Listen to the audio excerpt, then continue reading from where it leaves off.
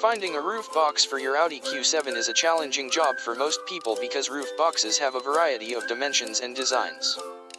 You will need to make sure that the roof box you choose is suitable for your car. You can check out our website and see what we have in our words. We have a variety of different sizes and designs for the Audi Q7. So you are bound to find one that suits your needs. A roof box is a great addition to your car because it can help you carry more luggage with you when you are traveling.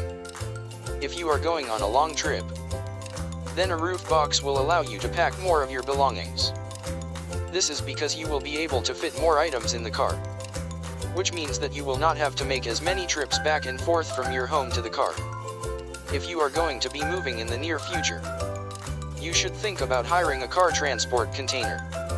If you do not have any experience with this type of products, it is important that you take the time to learn more about it before making your final decision.